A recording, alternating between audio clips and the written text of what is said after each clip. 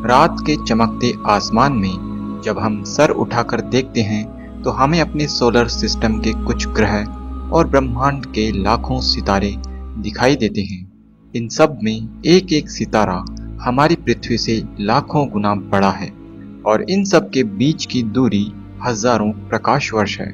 लेकिन फिर भी ये लाखों सितारे हमारे इस छोटे से आसमान में हम देख पा रहे हैं। कितना अद्भुत है हमारा ये ब्रह्मांड। अंतरिक्ष की यह सुंदरता हमें हमारी सारी चिंताओं, परेशानियों, दुख, दर्द को एक बार के लिए भुला देती है। अगर इसी अंतरिक्ष को और गहराई से हम जानेंगे तो ये हमारे दिमाग को शांत कर देगा। हमें इसे जानना चाहिए। तो चलिए, आज सभी चिंताओं को छोड़कर, सब कुछ भूलकर सिर्फ़ कुछ समय दीजिए इस अंतरिक्ष की सैर करने को, क्योंकि ऐसा मौका दोबारा कभी नहीं मिलेगा। चलिए चलते हैं हमारे अंतरिक्ष के सफ़र पर। हमारी अंतरिक्ष यात्रा शुरू होती है हमारे अपने प्यारे ग्रह पृथ्वी से। हम अपनी पृथ्वी से 90 किलोमीटर ऊपर आ चुके हैं, अपनी सभी चिंताओं को छोड़कर। कितनी प्यारी है हमारी धरती। और ये है हमारा चाँद। इसकी सतह पर बने हज़ारों क्रेटर्स इस बात के गवाह है कि लाखों वर्ष पहले करोड़ों एस्टेरॉइड्स की वर्षा यहाँ हुई होगी। चाँद से कुछ ऐसी दिखाई देती है हमारी पृथ्वी।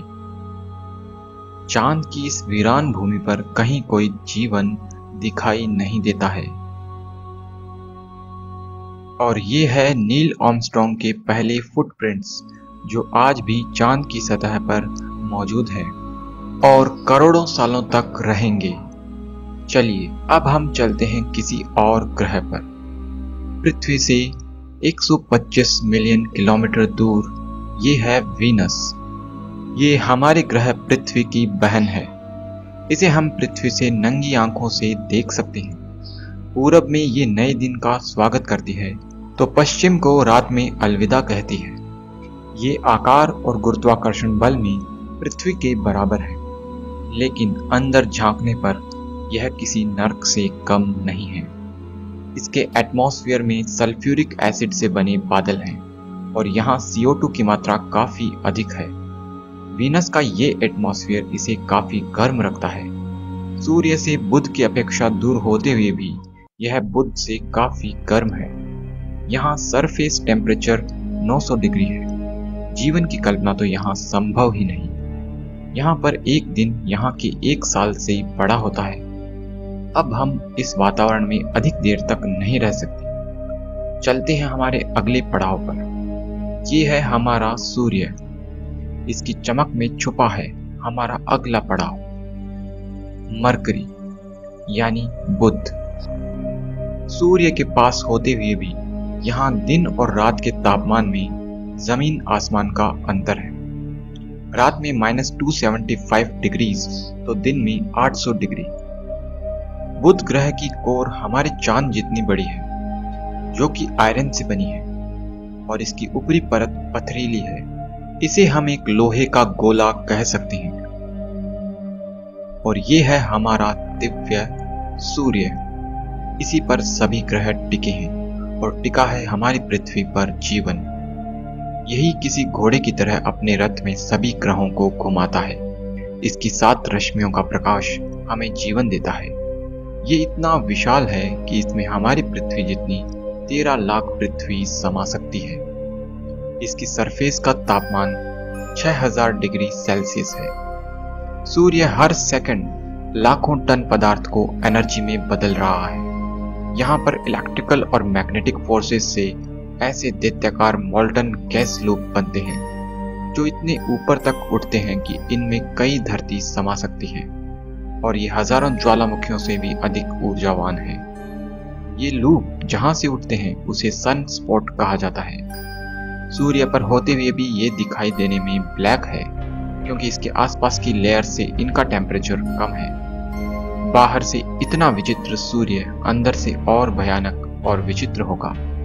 सूर्य के अंदर की दुनिया को हम कभी और देखेंगे। फ़िलहाल हमें चलना चाहिए वहाँ, जहाँ हमारा भविष्य, हमारा इंतज़ार कर रहा है। द रेड प्लैनेट मार्स जहाँ हम भविष्य में अपनी कॉलोनी बसाएँगे। मार्स हमारी एकमात्र आशा है भविष्य की, क्योंकि सिर्फ़ यही एक ग्रह है जहाँ हम अपनी पहली बस्ती बसा सकते हैं। यहाँ का एटमॉस्फेयर पृथ्वी की अपेक्षा पतला है। और ओजोन गैस के अभाव में यहाँ रेडिएशन से बचना संभव नहीं है। अब तक यहाँ जीवन का कोई नामो निशान हमें नहीं मिला है। हो सकता है यहाँ का जीवन लुप्त हो गया हो, जिस तरह पृथ्वी पर कई बार हो चुका है। ये है ओलंपस, मंगल का सबसे बड़ा पहाड़, जो कि पृथ्वी पर माउंट एवरेस्ट से भी तीन गुना बड़ा है। मंगल की ये घाटियाँ बयान करती है कि कभी यहाँ पर पानी बहा करता होगा। और अगर पानी था तो जीवन भी रहा होगा।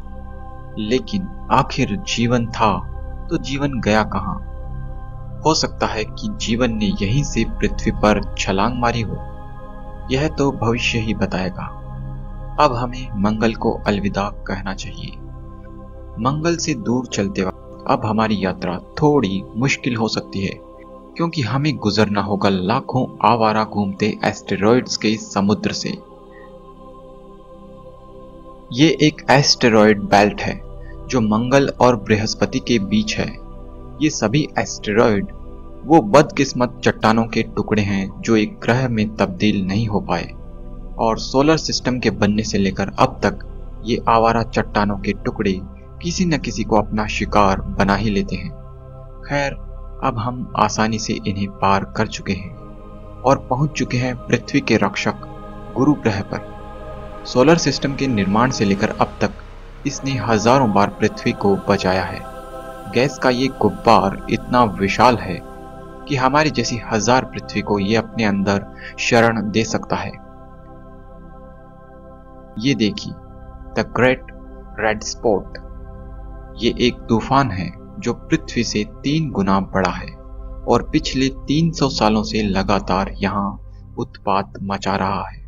ऐसे कई तूफ़ान जुपिटर में चलते रहते हैं। यहाँ की बिजली का एक स्पार्क दस हज़ार वोल्ट के बराबर है। ऐसे बिजली के झटके यहाँ पर चलते ही रहते हैं। इसके अंदर जाना खतरे से खाली नहीं होगा। हमें इसके पास एक पड़ाव ढूंढना चाहिए। हम्म ये है जुपिटर का सबसे नज़दीक चंद्रमा, आयु।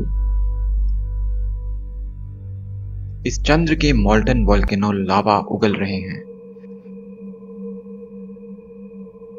यहाँ से हमें एक दूसरी आशा की किरण दिखाई दे रही है, जहाँ जीवन की संभावना भी हो सकती है।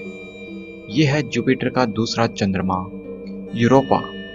इसकी सतह पूरी तरह से बर्फ़ से ढकी है। संभव है कि इस बर्फ़ के नीचे पानी हो और वहाँ जीवन पनप रहा हो। इसे जानने के लिए हमें यहाँ कोई स्पेस मिशन भेजना होगा। लेकिन इसके पड़ोसी ग्रह पर इंसान का एक दूत पहुँच चुका है। नासा का कैसिनी स्पेस प्रोब, जो चक्कर लगा रहा है एक रिंग प्लैनेट शनि के। शनि, जिसे हमने पृथ्वी से कई बार निहारा है। शनि ग्रह काफ़ी बड़ा होते हुए भी इतना हल्का है कि यह पानी में तैर सकता है। इसकी रिंग्स इतनी बड़ी है कि पृथ्वी से चाँद तक की दूरी तक समा सकती है। और यह है शनि ग्रह का चंद्र टाइटन हमारी तीसरी आशा की किरण, जहाँ जीवन संभव हो सकता है। इसके अंदर एक एटमॉस्फेयर है, हवाएँ हैं। बारिश भी है और यहाँ तक कि सीजन्स भी है। नदियाँ झीलें और समुद्र भी है और देखने में पृथ्वी से काफ़ी समान दिखाई देता है। हम इंसानों ने यहाँ भी अपना एक दूत भेज दिया है ह्यूगेन स्पेसक्राफ्ट इस भयंकर वातावरण में हमारा ये योद्धा यहाँ की इंफॉर्मेशन हमें भेज रहा है ताकि हम इस ग्रह को और अधिक जान सके। टाइटन काफ़ी ठंडा है, माइनस थ्री हंड्रेड डिग्रीज ऐसे में जीवन का पनपना लगभग असंभव है। अब हमें टाइटन को अलविदा कहना चाहिए, क्योंकि अभी पूरा ब्रह्मांड हमारा इंतज़ार कर रहा है। हमारी मुलाकात होनी है अब शनि के दो जुड़वा छोटे भाई, यूरेनस और नेपच्यून से। यूरेनस भी एक गैस जाइंट है। इसे आईसी प्लेनेट भी बोला जाता है। और ये है इसका जुड़वा भाई नेपच्यून। इसका नेचुरल सैटेलाइट ट्राइटन है, जो कि सॉलिड है, लेकिन ट्राइटन स्टेबल नहीं है। यह नेपच्यून के चारों ओर उसके घूर्णन की विपरीत दिशा में घूमता है। इस वजह से ये धीरे धीरे टूट रहा है और एक दिन ये टुकड़ों टुकड़ों में बिखर जाएगा। अब हमें आगे चलना चाहिए। ये है सोलर सिस्टम का सबसे अनलकी ग्रह प्लूटो ये आज तक अपने सम्मान को पाने के लिए तरस रहा है। इसकी कहानी हम कभी और बताएँगे। फ़िलहाल हमें अपने सोलर सिस्टम से बाहर निकलने का रास्ता खोजना पड़ेगा। ये रहा हमारा साथी वोयाजर वन स्पेस प्रॉप जो कि एक बुलेट से 20 गुना तेज गति से मूव कर रहा है। इस पर लगी एक गोल्ड प्लेट एक सीक्रेट कोड है। हम इंसानों द्वारा भेजा गया कोड ताकि ब्रह्मांड में बसी कोई इंटेलिजेंट स्पीसी उसे समझकर ब्रह्मांड में हमारा एड्रेस जान सके। हो सकता है ऐसा करके हमने कोई खतरा मोल ले लिया हो, लेकिन खतरे तो अभी आगे और भी है, जिनके सफ़र पर हमें चलना है। हमें अब अपनी स्पीड बढ़ानी होगी। हमारे सोलर सिस्टम से बाहर हम दूसरे सोलर सिस्टम अल्फ़ा सेंचुरी में पहुँच चुके हैं। जहाँ एक नहीं, बल्कि तीन सितारे एक दूसरे का चक्कर लगा रहे हैं। हम अपने घर से ट्रिलियन माइल्स दूर आ चुके हैं, और हमें अब आगे लाखों करोड़ों मील दूर जाना होगा।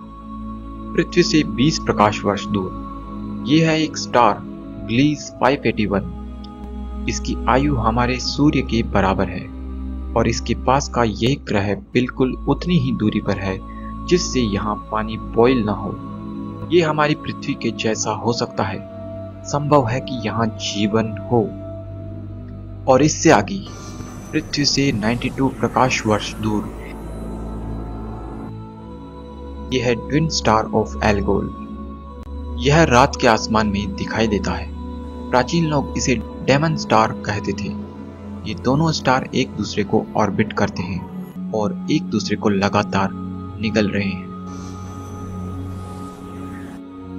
ये है ओरियन मॉलिकुलर क्लाउड पृथ्वी से 1300 प्रकाश वर्ष दूर, एक गैस और धूल का बादल जो हज़ारों प्रकाश वर्ष में फैला है और इसमें जन्म हो रहा है नए सितारों का।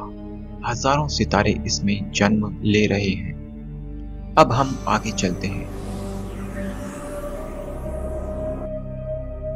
दूर कहीं अंतरिक्ष में ब्रह्मांड में ये रंग किसने बिखेरे हैं?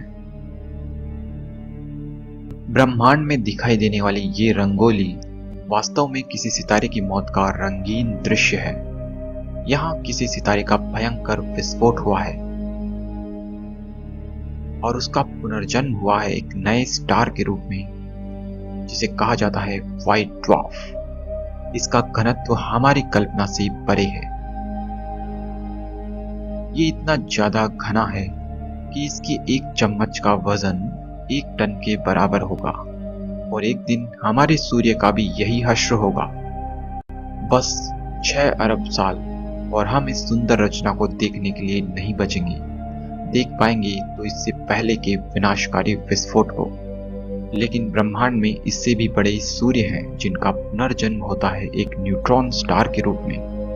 एक बड़े सूर्य ने एक विस्फोट में अपना सारा पदार्थ उड़ेल कर ये रूप ले लिया है जो कि व्हाइट ड्वार्फ से भी काफ़ी खतरनाक है। सिर्फ़ 12 मील की चौड़ाई का ये न्यूट्रॉन स्टार जिसके एक चम्मच पदार्थ का वज़न हज़ारों टन के बराबर होगा ये काफ़ी तेज घूमता है।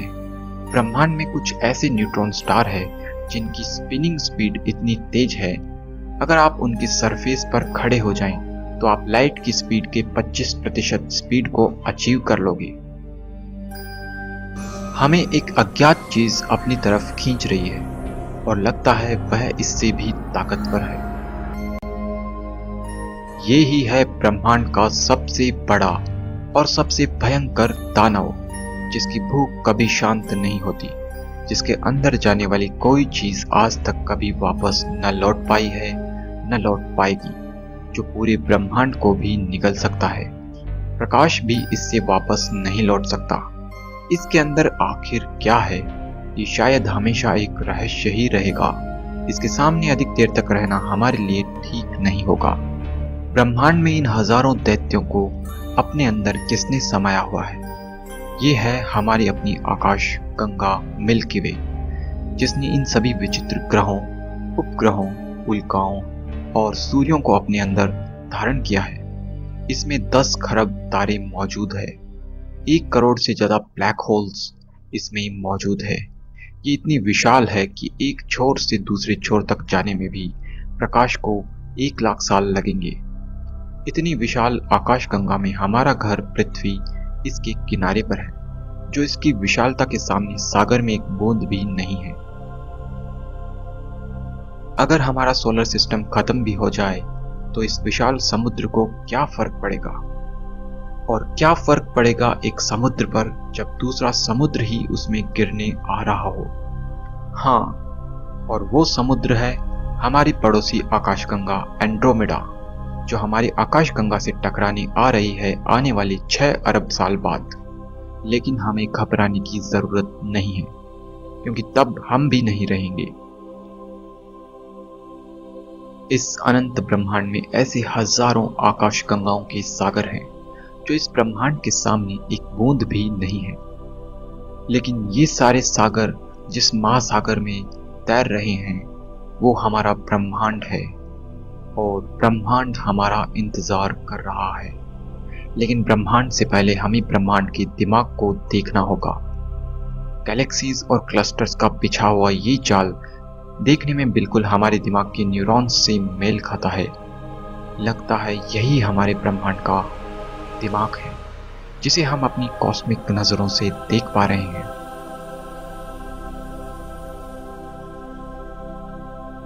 और ये है हमारा ब्रह्मांड, जिसमें लाखों गैलेक्सीज के समुद्र तैर रहे हैं। इसके आगे क्या है? क्या यह ब्रह्मांड भी किसी महासमुद्र का हिस्सा है? ये कोई नहीं जानता, और शायद जान भी नहीं सकता। हम ब्रह्मांड में काफ़ी दूर आ चुके हैं। अब हमें अपने घर चलना चाहिए। हम अपने घर पृथ्वी पर फिर से लौट आए हैं। लेकिन ब्रह्मांड की ये सारी यादें हमारे दिमाग में तरोताजा रहेगी, और ब्रह्मांड का ये सफ़र खत्म नहीं हुआ है, क्योंकि आपने तो ब्रह्मांड को जान लिया है। लेकिन अपने दोस्तों और फैमिली के साथ इस वीडियो को शेयर ज़रूर करें ताकि वो भी इस ब्रह्मांड की सैर कर सकें। तो फ्रेंड्स ब्रह्मांड को अलविदा कहने के बाद में आप सबसे भी अलविदा। आज के लिए बस इतना ही। मैं मिलता हूँ आपसे किसी अगले वीडियो में। तब तक के लिए बाय